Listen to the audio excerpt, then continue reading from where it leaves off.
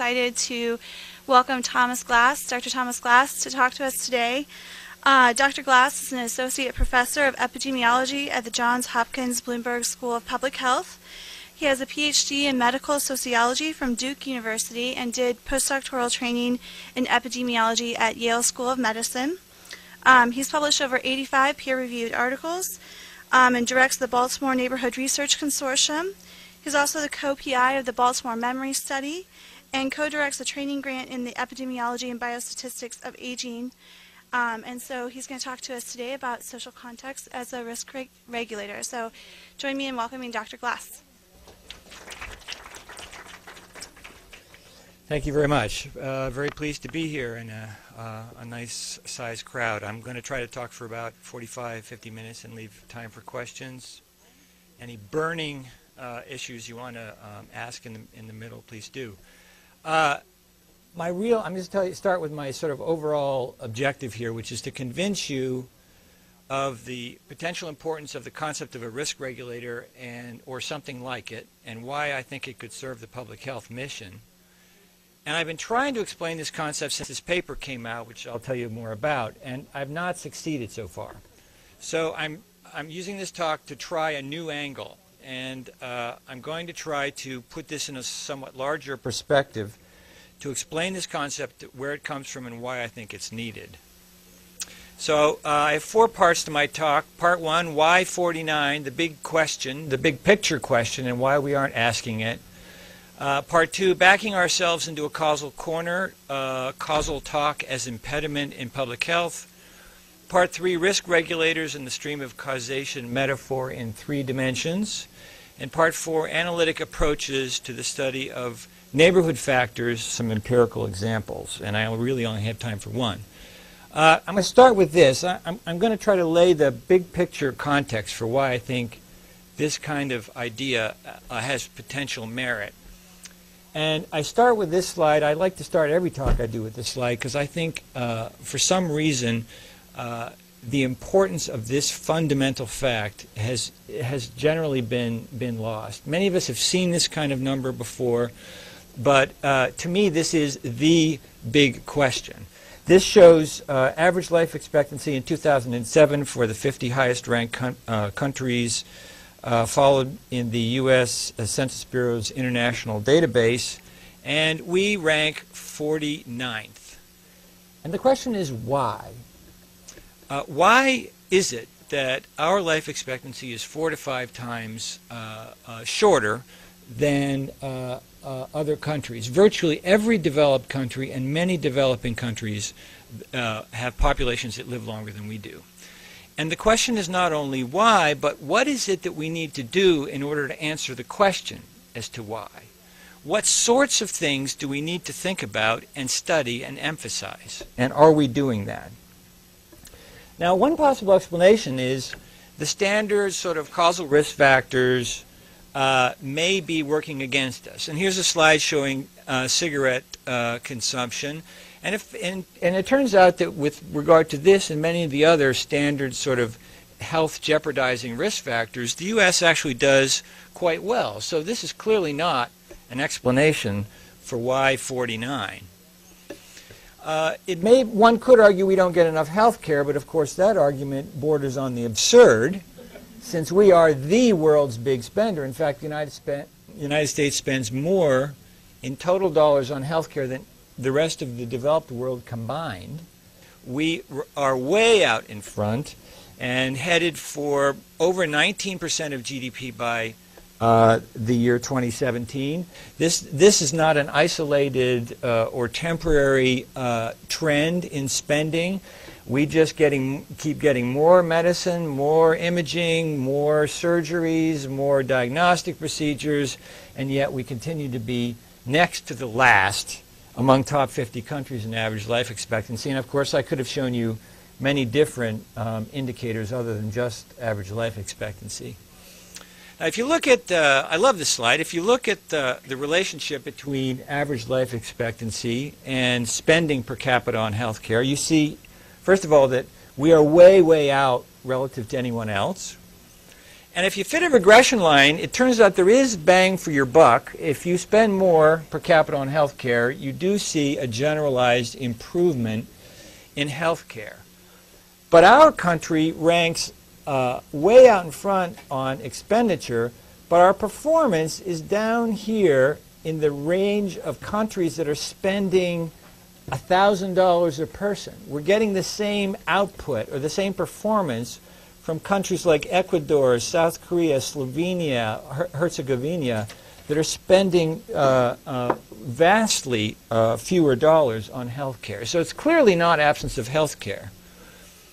If you look at an even bigger picture um, about where the big gains in life expectancy have come over the last hundred years, it's quite clear that ma the majority of the uh, increases in life expenditure uh, uh, occurred in the early part of the 20th century as a result of fundamental uh, improvements in public health.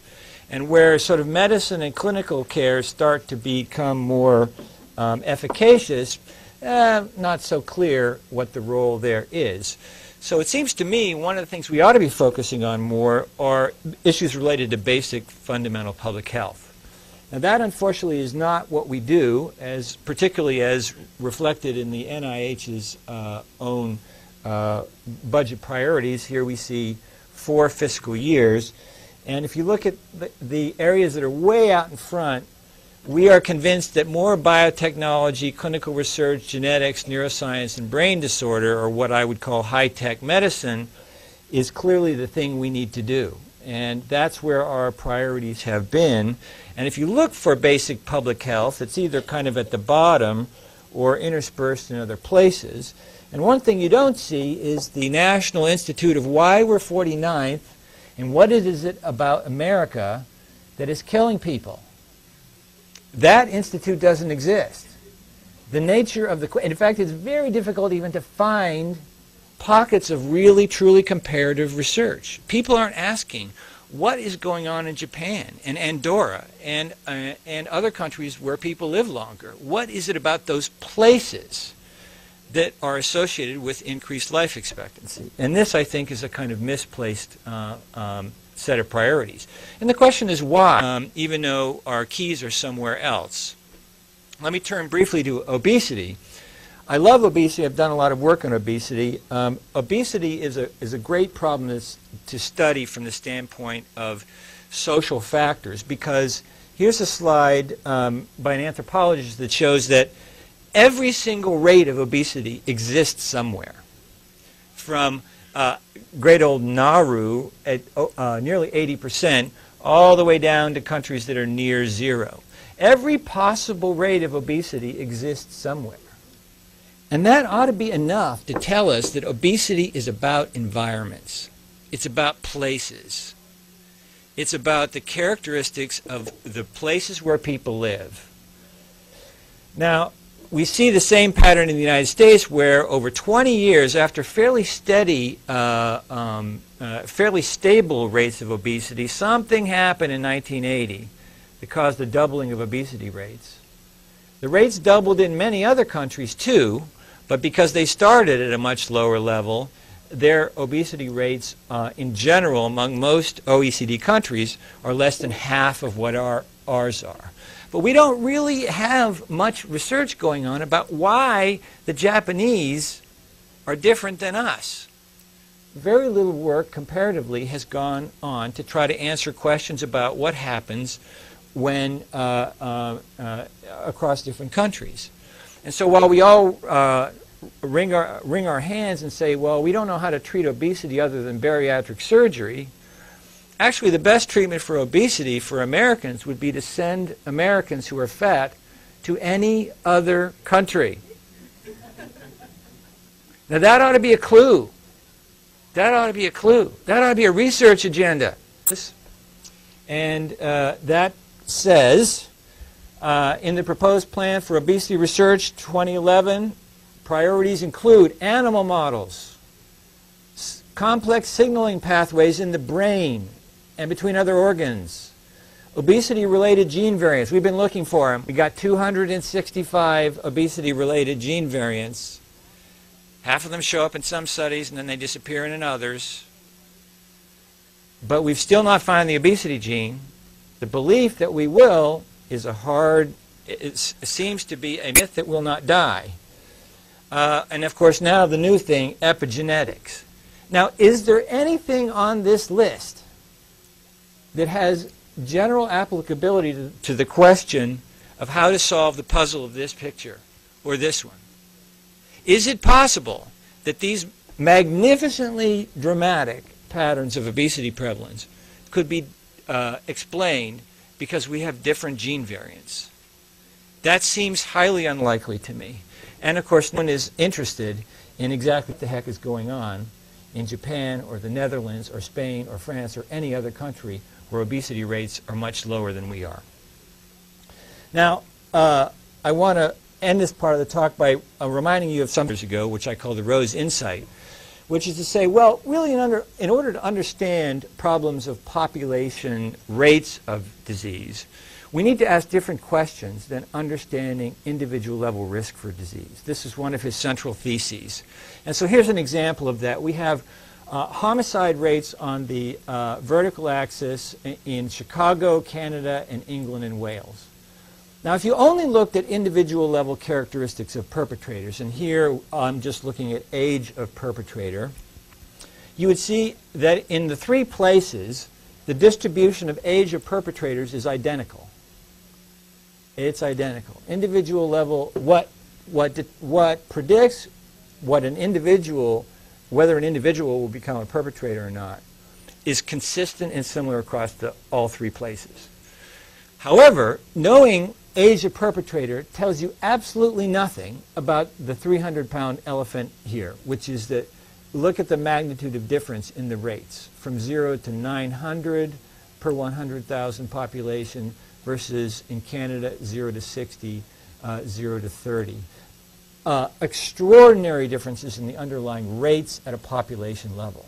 In order to understand rates at a population level, we need to appeal to characteristics of places to understand place level differences in rates.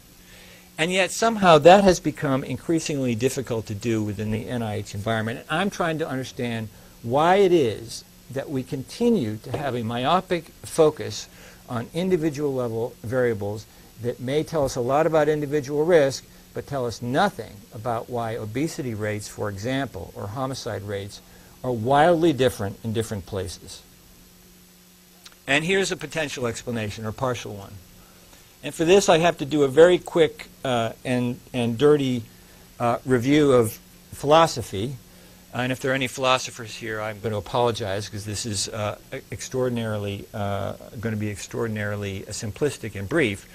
But I want to remind you that within um, the great canon of philosophical discussion on the subject of cause, there are at least two main branches of the tree. One comes from uh, uh, David Hume, uh, who, who spent a lot of time thinking about causation and argued that in order to determine causation, he said we have to have demonstrated what he called a necessary connection. And if you read what he says about this, it becomes quite clear that, that in Hume's point of view, he's not sure that causal relationships actually even exist in nature.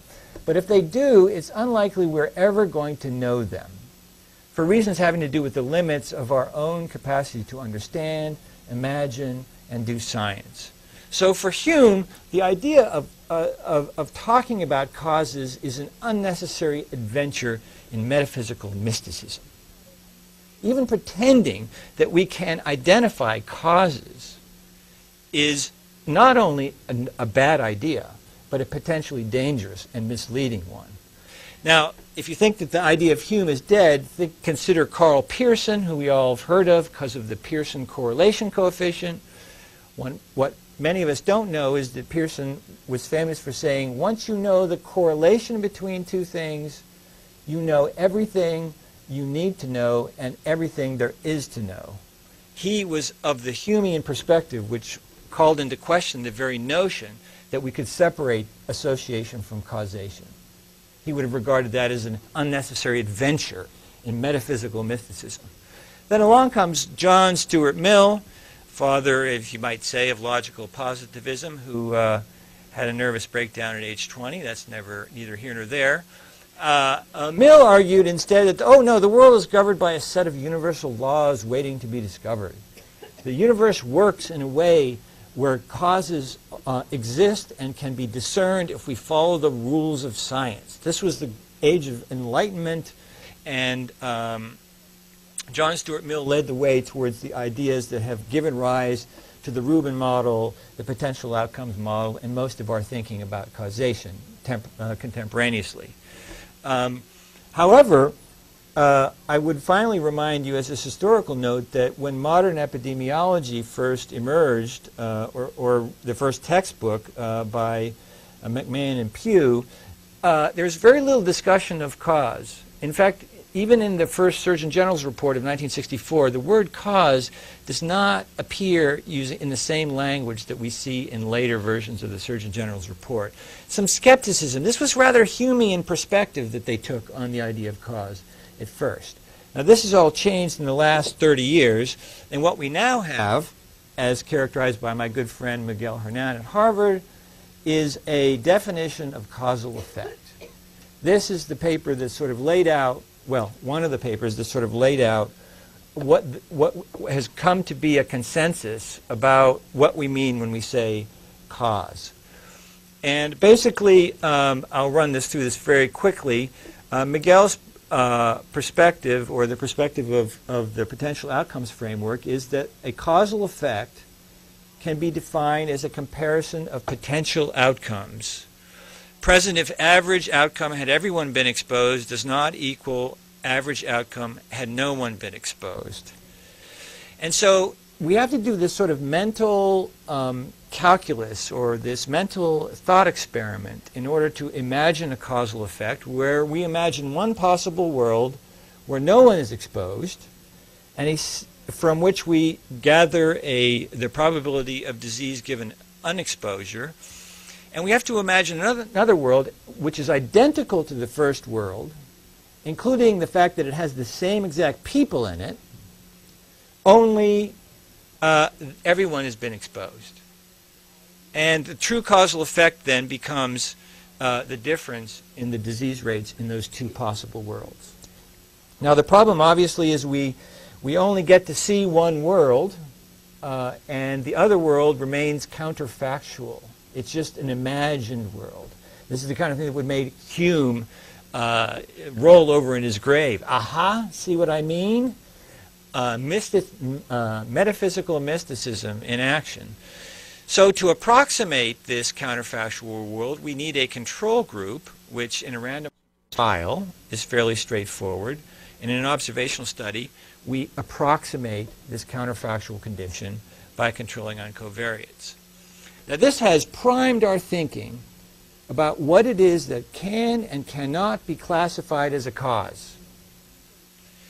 And one of the things that this means is that there are a whole range of things, things that make Japan and Andorra different than the United States, that are now off the radar screen as potential causes. They do not qualify because they do not fit the model. They do not fit the language of our causal speak. And one of those characteristics are attributes of places. Why? Well, number one, experiments are impossible to, uh, or unethical and even difficult to imagine. Two, because uh, the effects associated with places are non-specific, so living in a really poor place causes every possible bad outcome, but not with any great degree of specificity, and we all remember the canon of uh, specificity from the Hill criteria. Uh, non-random assignment to context makes exchangeable comparison groups impossible. Uh, risk factors are chained together. They're not separable. Clinical trials are beautiful because we can give it a drug or a placebo and have that be completely independent of whatever other risk uh, factors may be existing in the environment. But to talk about places, a place is a bundle of chained together risk factors that are not separable. Um, in addition, the standard risk factors that we might want to uh, uh, study, once we've controlled for confounders, we, it leads to overadjustment uh, because these things are on the causal pathway in between where you live health outcomes. Extreme stratification leads to violation of positivity assumption, meaning that if you study really bad neighborhoods, there may be no uh, there may be no wealthy people or no white people living there, in which case adjusting for race causes a gross violation in, um, in uh, positivity assumptions. The relationships between places and health may be complex and nonlinear, uh, exogenous, or what's been called dependent happenings. Now, this has led my good friend uh, Mike Oakes to say in a paper called The Misestimation of Neighborhood Effects. He says, we show that identifying useful independent neighborhood effect parameters as currently conceptualized is impossible. Therefore, neighborhoods, countries, other place level characteristics are out the window as causes. And i am essentially arguing that um, this idea of having a causal framework, a causal theory, that does not permit a whole range of variables that may be of incredible importance in explaining differences in disease rates, has sort of boxed us into a corner and made it very difficult um, to study, uh, evaluate, and intervene on factors that aren't somehow, uh, don't qualify as causes.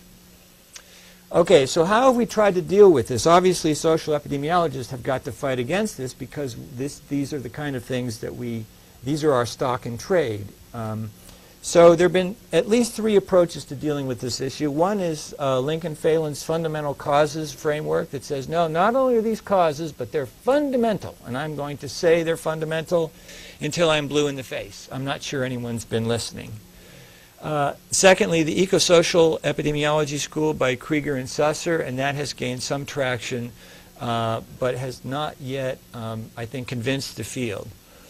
Um, the third approach has been uh, popularized by Jay Kaufman and people like that, saying, let's study only social phenomena that can be subject to treatment assignment. And other, other than that, we're going to have to forget about the rest. Now, this has led to what's been called the epi wars, arguments about whether social factors belong in epidemiology. And some of the titles have been Social Epidemiology, No Way, to, to which Kaufman says, way, which gives you a sense of just about how, uh, what the level of uh, maturity has been in this debate, and sometimes it is that way. Uh, the failure of academic epidemiology, witness for the prosecution, and then our conscientious objection to the epi wars. So I don't think that this uh, debate has been resolved in any satisfactory way. And uh, we still don't have a clear uh, idea of what to call variables that may matter but may not qualify as causes. And that is the context in which I tried to, uh, or my colleague and I tried to uh, introduce some new language and some new thinking into this problem in this paper, where we attempted to modify and extend the stream of causation metaphor, uh, proposed the risk regulator concept, addressed some of these causal inference problems and, uh, and used obesity as an example. Now, to just sort of quickly summarize what I mean by this, our, our thought was, you know, we basically have an individual actor at the sort of behavioral level whose health behaviors we want to explain. Eating, sex, taking drugs, uh, uh, working, exercising, all of the real smoking, all of the real serious public health issues come down to, boil down to this sort of behavioral nexus, what it is people do in particular contexts. And below that, we have a series of sort of biological um, substrate that is uh, uh, basically organized around a series of centralized regulatory systems. Um, and way up here above, we have these sort of macro level phenomenon like land use, culture, economics, and markets, which are very remote. Most people don't really know about them. People don't understand labor markets, but they influence them in some way. And so our argument was to say, let's focus on and develop some new language to understand what is in the middle. How is it that the effect of economics and labor markets gets down to the behavioral nexus and into the body and ultimately affects these regulatory systems. What is the, what is the machinery that is associated with that um, transmission uh, uh, of, of forces? And the idea of the risk regulator was an attempt to get at that. These are meso or middle level factors that are visible and present in the lives of people. They are things that are within the conscious purview of individual actors and um, which are essentially the conduits or channels through which upper level macro system uh, factors get down to the behavioral level and influence behavioral behavior by, by creating opportunities and constraints for particular kinds of behaviors. Um, and furthermore, also have uh, direct linkages um, uh, through both material exposures and non-material exposures into these, uh, this biological substrate, uh, potentially turning genes on and off, uh, upregulating and downregulating uh, metabolic processes and cardiovascular systems, etc. And this is sort of the big picture view of what we were trying to get at here. At a simpler level, the idea of a risk regulator was to say, you want to argue about what's a cause? Okay, fine. These are not causes. But what they are, we're going to try to use a kind of engineering language to talk about risk regulators as valves or levers that operate as system control parameters, operating above the heads of individuals and modifying the probability of certain behavioral states within given contexts in a way that would help us understand uh, aggregate level population patterns of behavior and health outcomes. Now, some Im implications of this idea are number one, uh, it's a it's a call to shift from the idea of health behaviors to health actions, where we bring agency back in and consider uh, human beings as conscious uh, strategizers rather than simply uh, behavioral billiard balls responding in a stimulus response kind of way. Um, it requires a shift from a focus on uh, individual characteristics and uh, personality traits to states that arise in particular circumstances and contexts. Uh, a shift from static self-report data to the need for real-time objective uh, data uh, across different action platforms. And a shift from highly deterministic models uh, conceived of in a sort of very Mills-like Newtonian billiard balls kind of uh, uh, vision of the world to a dynamic systems modeling approach, and from a shift to single independent risk factors to risk regimes. And I'll say one thing about what I mean by that now. So um, what we normally do when we uh, when we study a, a, problem related to some health behavior like gun violence, some risk factor like a gunshot wound and disease, is we focus narrowly on a series of factors that are fairly downstream, or to use this topographical three-dimensional image, downhill uh, from uh, the factors that might uh, differentiate different places.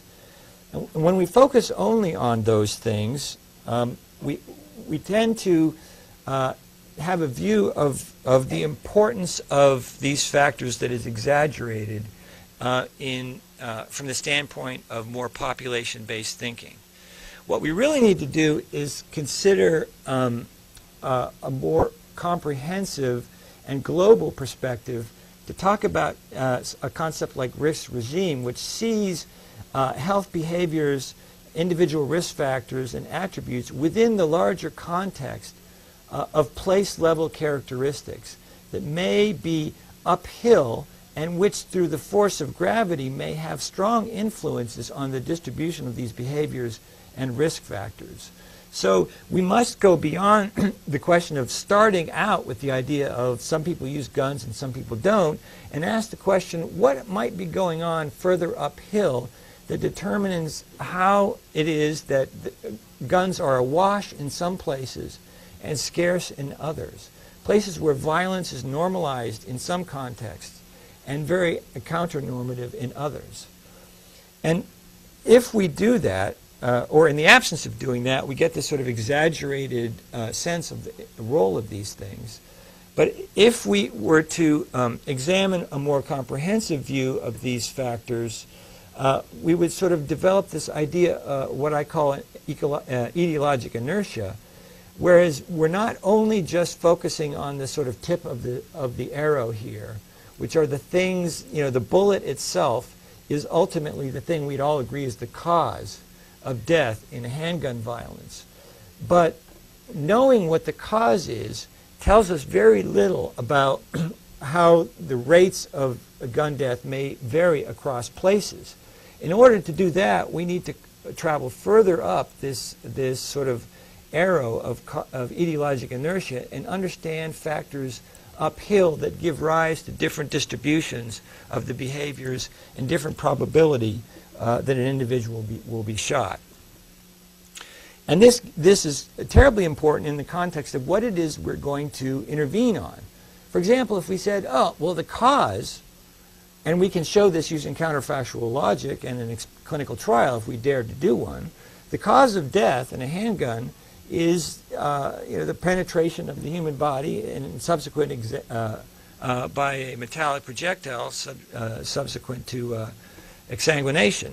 Everybody can agree with that, that that is the cause, but knowing the cause doesn't tell us anything about what is the best approach to intervention. Because if we focused on this as the cause, what would we do? We'd put Kevlar vests on everyone. And that's hardly the appropriate thing to do. Now, just because we we have trouble fitting this into, shoehorning this into our idea of cause doesn't mean that trying to change something up here so that it cascades and produces a lower probability of things going on down here doesn't mean that we ought to focus on our interventions down here just because we can say unambiguously that that's the cause. And that's the sort of inner logic of the, um, of the uh, argument I'm trying to make. So now part four, analytic approaches.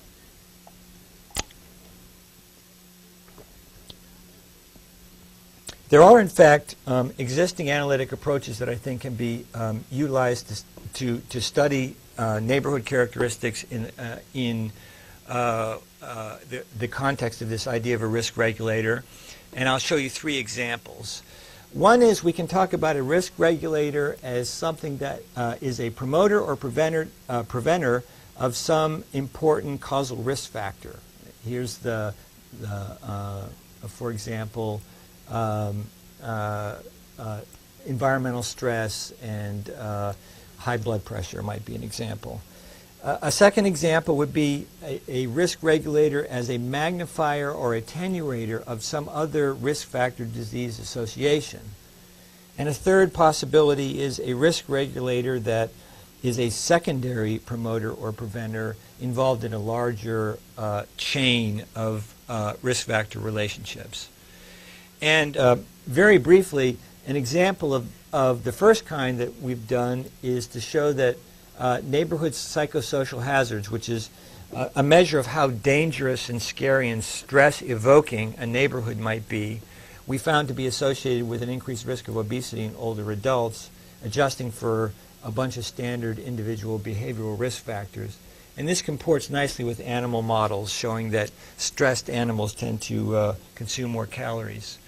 Uh, the second, uh, uh the uh, second example, that of a risk magnifier, we uh, did a study showing that the same variable neighborhood psychosocial, living in a dangerous and scary neighborhood, actually upregulates or magnifies the effect of bone lead on cognition. So that if you live in a high stress neighborhood, the effect of lead on your brain is exacerbated. So, uh, and these are fairly straightforward um, kinds of analyses. You recognize this as an effect modification hypothesis. Uh, this stuff is relatively straightforward. I'm going to give you a third example here in the next five minutes that uh, I think is a little bit more novel uh, and interesting. Uh, uh, and I'll set it up by saying that neighborhood risk regimes may influence injection use behavior. injection drug users are highly mobile. Selection into neighborhoods may be associated with health. uh, um, and that uh, there is this problem of time varying confounders affected by uh, prior exposure, which I'll uh, uh, explain a little bit more in a second. Uh, regular old regression model adjustment leads to collider stratification bias and the underestimate of the effect of the neighborhood variable. And one possible better strategy, which is good for this secondary risk promoter idea, is the use of inverse probability weighting and marginal structural models. So here's the kind of problem we have. We have people who are moving from neighborhood to neighborhood, injection drug users.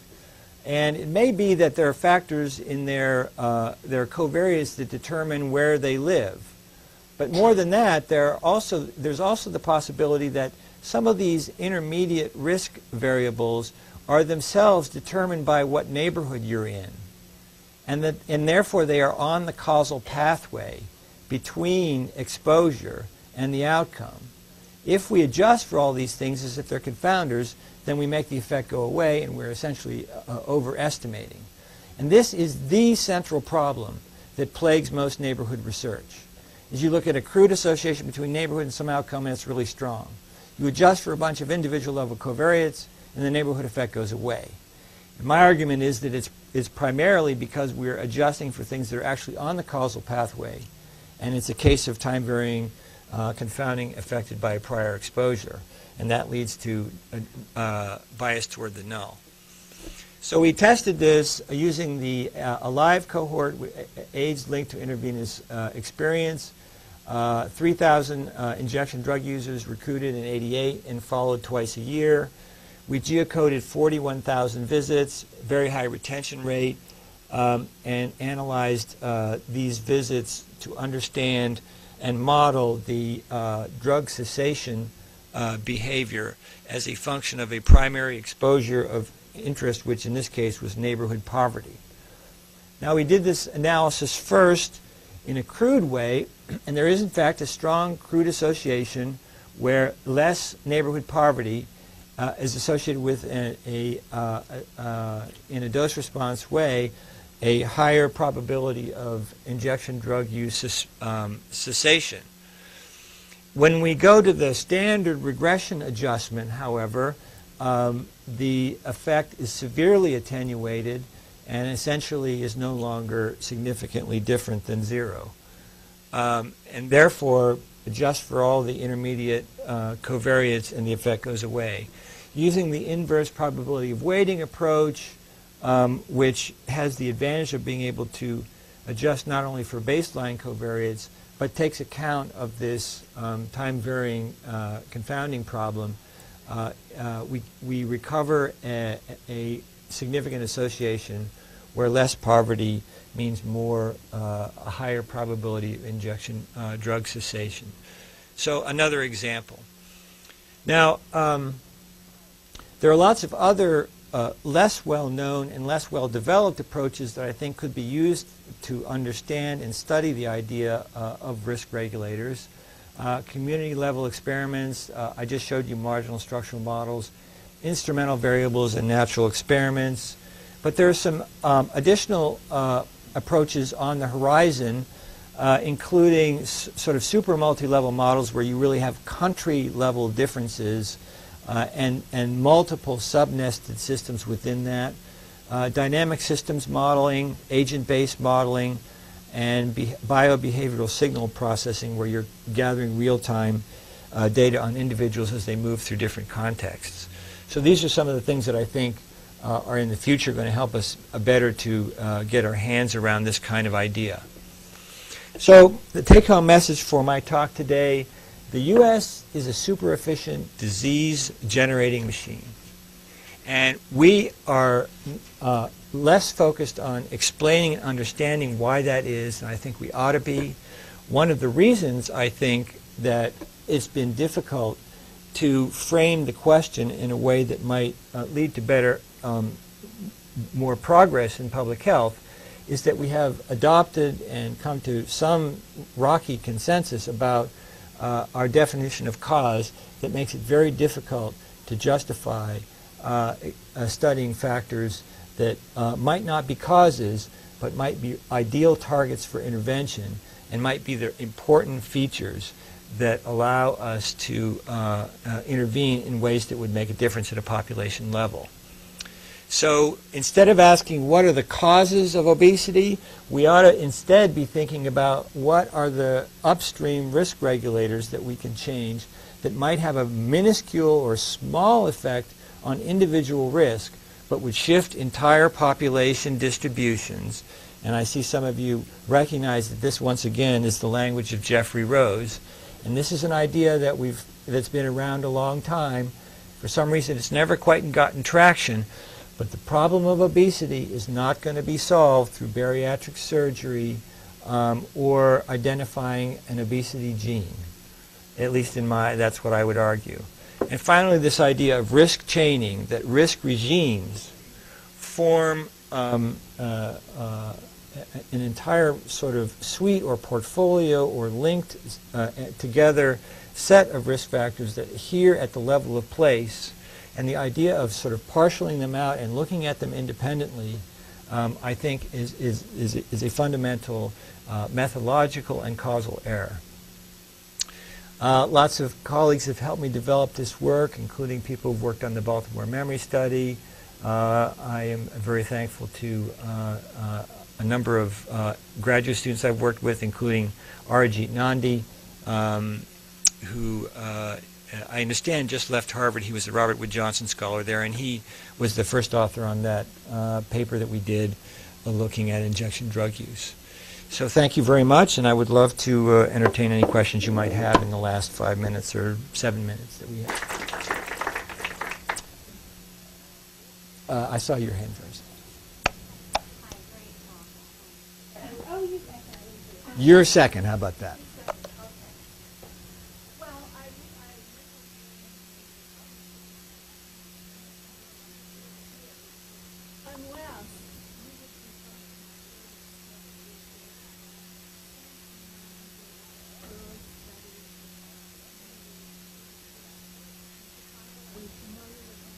Uh, there's nobody in my field who's not very familiar with with the three examples of behavioral science social epidemiology that's appeared in the science the journal science. We, we all know them. We're very proud of them. I'm very proud of that group for doing that. Yeah. So uh, the question would be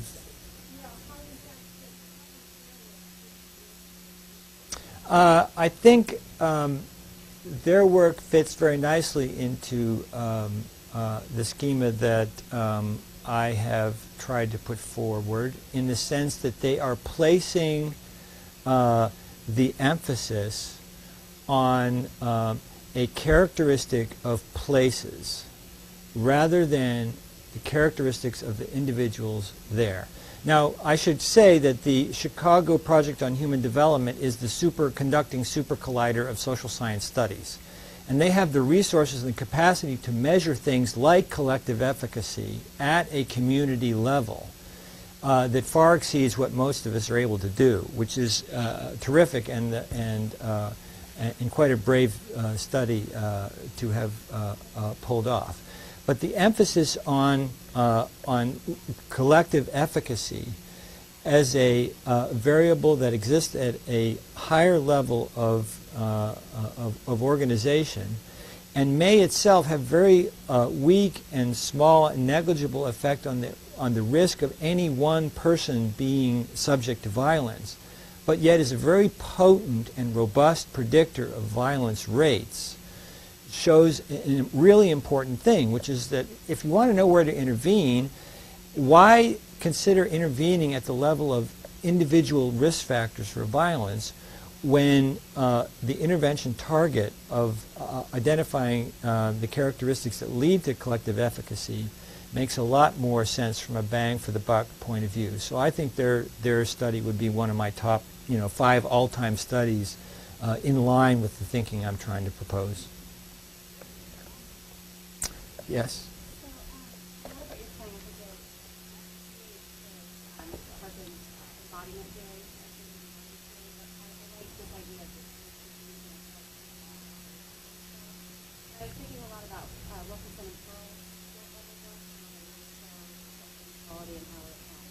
plays out in so many different ways. and, like,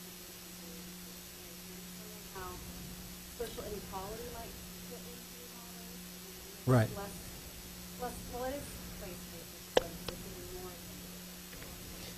Okay, so how does, the question is, how does inequality fit into this framework?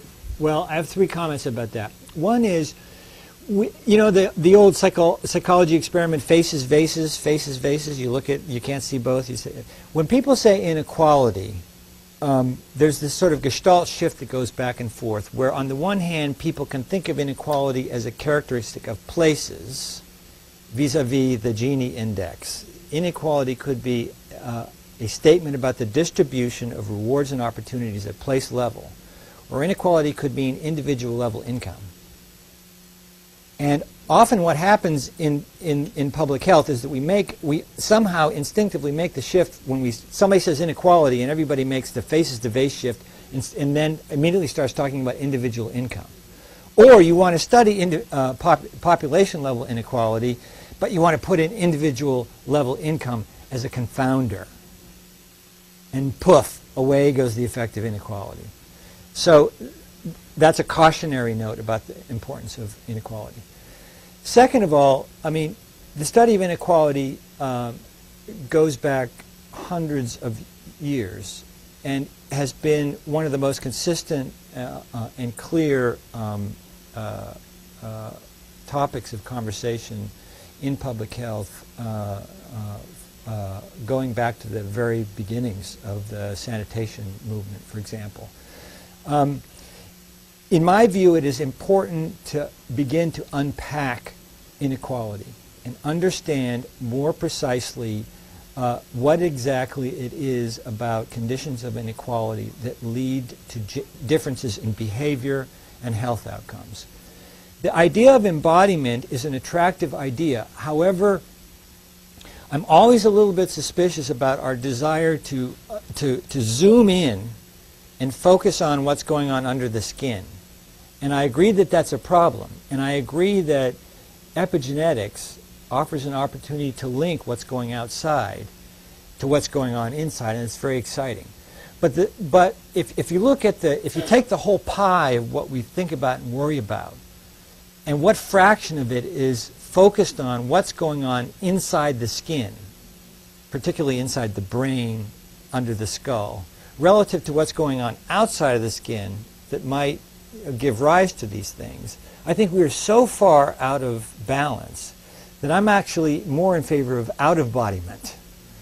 I am more interested in further articulating the conditions from the skin out and how the uh, formation of social structure gives rise. One quick example of that, the concept of stress. Everybody throws around the idea of stress. Stress, stress, stress. Everybody studies stress. Where does stress come from? Where does stress, from where does stress emanate? We do this faces vase thing and somehow stress somehow becomes like a personality quirk or a, uh, some sort of random uh, uh, thing that pops up in the context of our daily lives. But if stress is to have any meaning, stress has to be uh, a, a physiologic reaction to some environmental phenomenon. Now, what is that environmental phenomenon? Is it a stressor? Well, the word stressor I have a lot of problems with. Happiness is a biological state. The things that make me happy, I don't call them happiers. The idea of a stressor hides from us something. It hides something. Uh, I prefer the language of psychosocial hazard. That is the thing in the environment that evokes in all mammals a- an adaptive challenge that is either a positive or a negative stress response. And I want more focus on what it is outside, what it is that's going on in neighborhoods that evokes stress. Where right now we tend to regard stress as exogenous. It pops out of nowhere, or it's a characteristic of individuals. There's very, very little work to try to understand where stress comes from, from where it emanates. Uh, I forget whose hand was next. Okay. Um, given what, especially what you just said, on one of your um, last two slides, you had the notion of biobehavioral signaling. Yeah. You said you could measure, I think, biobehavioral factors as people are moving through time and place. So if I could play devil's advocate, you know, why should we care um, given that, uh, you're also saying the focus should kind of be on the outside, to just to understand the mechanism? Um, no, if I want to understand, um, if I want to understand um, the effect of um, place on blood pressure, and I get a cohort of people, and I do the same thing we've been doing for 30 years, which is I get a I do a cohort study, and uh, once a year I sit someone in a chair and I measure their blood pressure three times, and then I do it again the next year. And I look for the effect of places based on where they say they live on the blood pressure readings I get there, and then a year later, and a year later, I will have learned nothing. Because all I'm getting is some grand super mean average. What I'm missing is how someone's blood pressure changes when they're in the car in traffic, when they're standing in front of a group at NIH trying to convince them of something.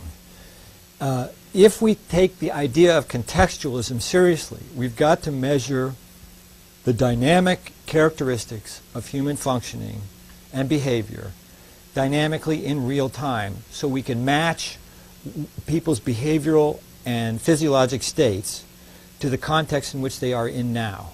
This is what I mean by moving from traits to states. So right now what we do is we measure psychological things like coping or social networks or things like this statically once a year in time. And then we learn nothing because it is only in the dynamicity of these phenomena, changing context to context, that the patterns uh, that, that I think are really there emerge. And we're simply stuck on paper and pencil things to measure things like social support and social networks and efficacy and all these other things, even though we know that they are um, uh, themselves subject to uh, horrendous measurement error. We can't find a new way to do it, and I think a new way is emerging, and it's largely emerging uh, because of these. And if you just think for a minute about what this could do to measurement in behavioral and social science, because it's location, it's communication, it's social interaction in real time, and, and, and you can put it on a map and identify how and, and study how uh, being in one kind of place affects behavior versus uh, being in another kind of place. You, you don't look convinced. I, no, I actually agree with you. Okay. Um, but, um, but I'm trying to put it in the context of you're focusing more on ex- outside the box stuff. Yeah, so when we, we put, take somebody into a clinic and we take them and we, and, and we ask them a survey, we're essentially decontextualizing that. We're saying on average, all other things being equal. And by the way, let me remove you from any context for the purposes of filling out this survey. Because I want to wash all that away. I mean, that's the great legacy, the great legacy of Lazarsfeld and the survey revolution was that it, it, it gave us a, a tool we never had before. But that tool has uh, now outlived its usefulness. And, the, while there are some advantages to getting responses to survey and questionnaires they're completely decontextualized, um, at the same time, it completely impoverishes our ability to understand the role of context. Because it's only by real-time data collection of people in context while they're living in context, which was not even imaginable to Lazarus Lazarsfeld, that um, the that we can really elucidate how being in one kind of neighborhood or place affects you physiologically or behaviorally compared to another. I mean, the behavioral economists have started to figure this out. Like they discovered somehow economists have discovered that human beings are social and not always rational in all those things. Oh, wow! Congratulations, Nobel Prize for that. Uh, but it turns out economists find out that you take a, a, a teenager and you put them in a lab and ask them questions about their health behaviors, their smoking, et cetera, et cetera, and they'll give you one set of answers that will be right. You take them in a bar, fill them with drinks in a dance club where the music is pounding, and they've done this experiment, and they, you put them in what's called a hot state, and their answers are completely different. Their physiology is different. Their behaviors are different in ways that they would never have been able to predict, ex- explain, uh, even to themselves, had you asked them in a cold state. So this idea of contextually determined physiology and behavior is only only studyable if we're actually uh, um, putting sensors on people and observing them as they move through context. That's the argument I would make. Did you have a question? It's almost a comment, this, this cover of the board meeting was at yesterday, but there's a microcosm and a real parallel between public health and drug theft. What's going on in education in this country? I, I don't know if you're aware of it or not, but there was this huge emphasis in the last ten years on, on randomized control trials in education. Because the logical positive is, all we have to do is do that, be more like medicine, and find out what works when we Right. do it. And of course, what's happened is null effects all over the place. The What Works Clearinghouse, the Department of Ed has, tells you what, it doesn't work, but null effects. But it's the same kind of thing, you know, they're missing the forest. But, and again, I don't know how much we spend per capita on education. But I'm betting there's, there's close parallels, at least to some of the things that Right. you've done with the public health. And I'm, I'm gonna actually send your paper and your name to John Easton, who's the head of. Because I Uh-huh. really do think they, they're just missing the forest for the trees in the same way that we sometimes do in public health, not studying things with at least a little bit more of this At least believing that all we have to do is randomize it. Right. Well, of course, every every school is nothing but a tree that's standing in some forest. And if we ignore the forest, um, it's and we see that that some schools do poorly and not others, we may misattribute the influence. Um, uh, now, because we can sort of randomize schools, we can imagine randomizing schools. That becomes the thing we're going to look at to, to identify the causal effect of schools. But in the meantime, we're going to ignore the fact that schools are lodged within communities. And the pathologies that walk through the door of every school are the pathologies that have their origins in communities, some of which are very pathological. So intervening at the level of schools is like focusing on the tip of the arrow and forgetting the causal forces that emanate further uphill. Yes, sir.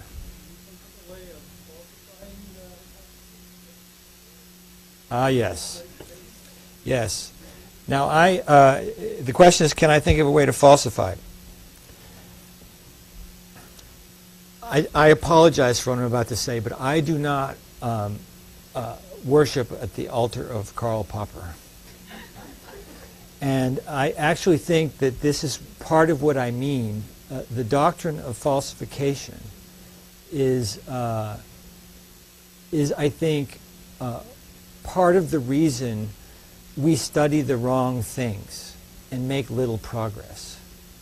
Uh, people are always, at, I'm at Hopkins in epidemiology, people are always reminding me that the clinical trial, which is, you know, standard Popperian falsifiable science, is the king of evidence. And I always ask people, which do you believe more about the, whether the polio vaccine worked? The fact that the clinical trials done on the polio vaccine worked, or the fact that polio went away in the population? Which do you believe constitutes a higher standard of evidence? So, um, uh, if you take a dynamic, if you talk to engineers or meteorologists or people who think post uh, Popper and post Newton about nature, if you talk to evolutionary scientists and you throw this sort of falsification idea in front of them, they say, uh, you don't get it. Nature doesn't work that way. Uh, and the, the doctrine of falsification um, uh, uh, is, uh, is as much of an impediment as anything.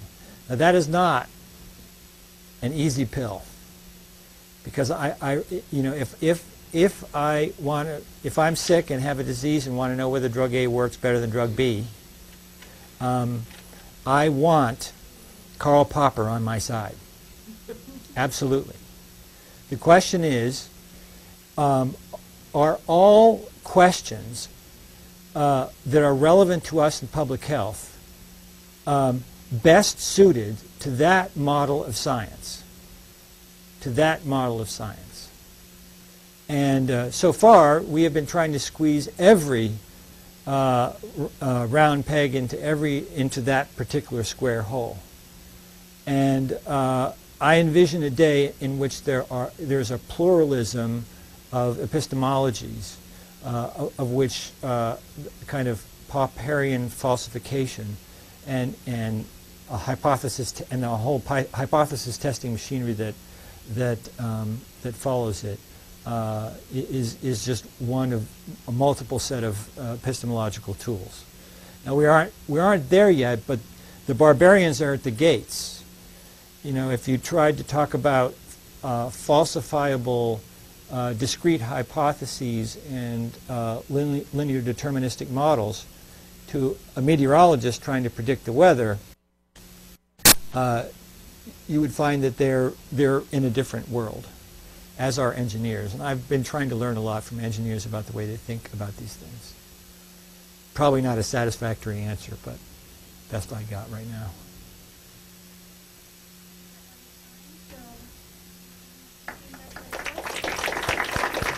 Thanks. Thank you.